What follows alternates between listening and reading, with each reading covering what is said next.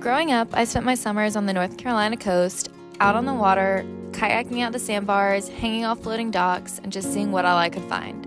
I would see all these cool little creatures, but no one could tell me what they were. So began my obsession with these mysterious marine invertebrates.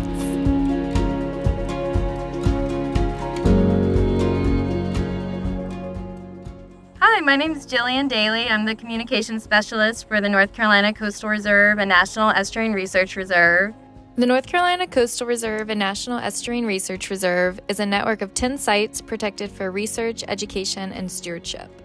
I spend a lot of my time, both work and free time, in our Rachel Carson Reserve component.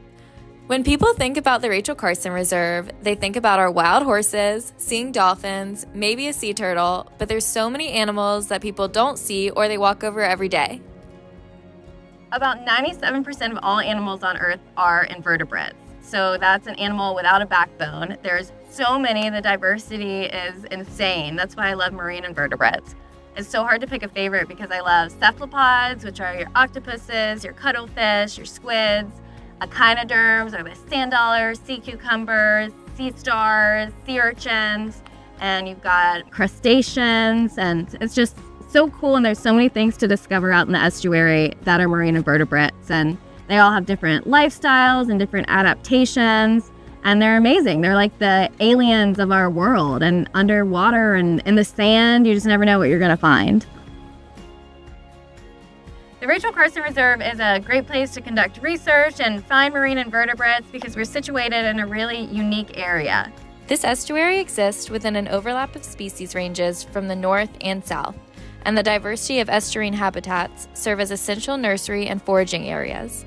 This all means invertebrates play a vital part of the food web, supporting the biodiversity we have on the reserve.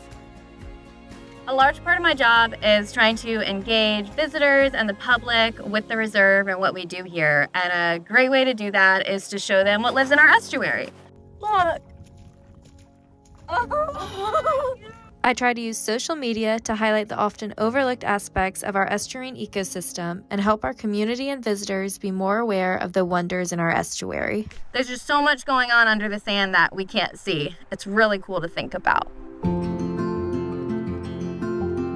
We have folks who've been coming out to the Rachel Carson Reserve their whole life and not knowing that that little tube they're walking over, a worm lives inside, or that a horseshoe crab is burrowed underneath their feet right? So it's really cool to share these videos and hear responses and people being like, wow, I had no idea. I see that all the time, or thanks for sharing.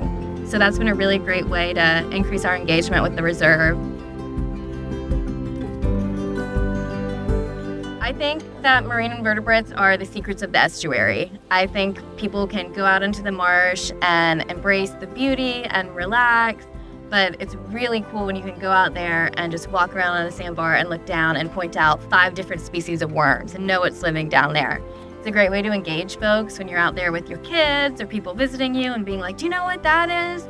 So I think learning what's out there, the biodiversity of the reserves that we protect, and just getting excited to go out and learn more.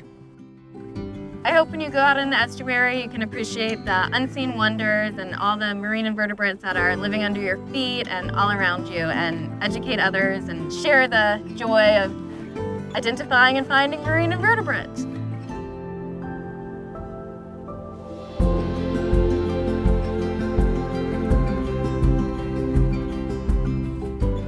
Want to learn more about the estuarine creatures featured in this video?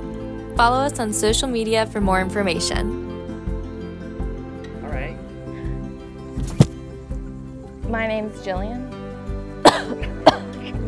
Education Specialist for the National Estuarine Research. So it's been a lifelong passion. Oh my god! Oh my god! Oh my god! Look at What they're doing.